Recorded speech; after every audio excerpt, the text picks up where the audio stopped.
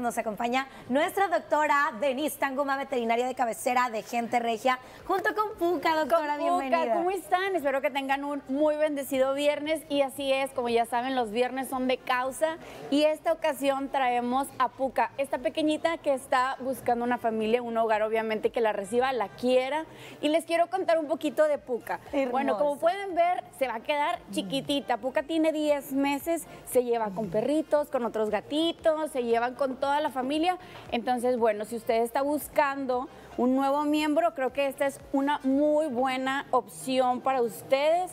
Es súper tierna, es muy amigable, Muy ya está noble. esterilizada y también Sí. vacunada. Entonces, bueno, con Puca ahora sí que ¿No vas a no van a batallar? batallar nada. Nada. Nada. Se ve su carita toda tierna y noble. Pero doctora, también aprovechando que está aquí, por favor, ahora que, que ya estamos en temporada, o bueno, está saliendo el sol, acabamos de escuchar en esto que va a estar muy bien el clima, ¿cada cuándo o qué tips nos puede dar para bañar nosotros mismos a nuestras mascotas? Porque a veces los llevamos al veterinario, Claro. pero nosotros lo podemos hacer.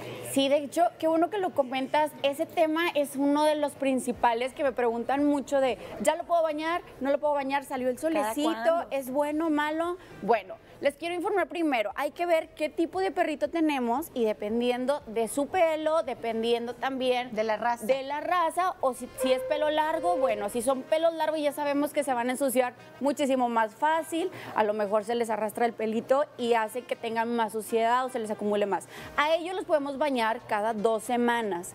Cuando ya son perritos que tienen el pelo mediano, que no es ni tan cortito ni tan largo, pues bueno, entre tres, cuatro semanas los podemos bañar. Y una vez que ya tenemos un perro que es pelo súper cortito, como el chihuahueño que vemos en pantalla, pues bueno, cada mes, o sea que son cuatro a cinco semanas.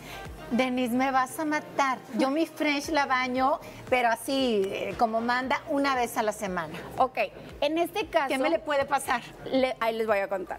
Porque no es tan recomendable bañarlos tan seguido. Lo que pasa es que los perritos no tienen tantas capas de piel como nosotros, ni de grasa. Entonces es muy fácil que se irrite o que sea la piel mucho más reseca y se puede hacer llaguitas. Entonces, si nosotros lo vamos a bañar una vez a la semana o más seguidito, hay que usar un shampoo hidratante para que nuestro perrito pues no vaya a sufrir de resequedad. Todo en exceso es malo hasta el Todo baño. en exceso. Muchas gracias, De doctora, por nada. Muchas gracias. Tus Gracias redes a ustedes, para estar pendiente. doctora.denistanguma, ya sabe, cualquier comentario, si quiere saber más de sus mascotas, cheque mis redes sociales, siempre estoy subiendo cosas de ellos.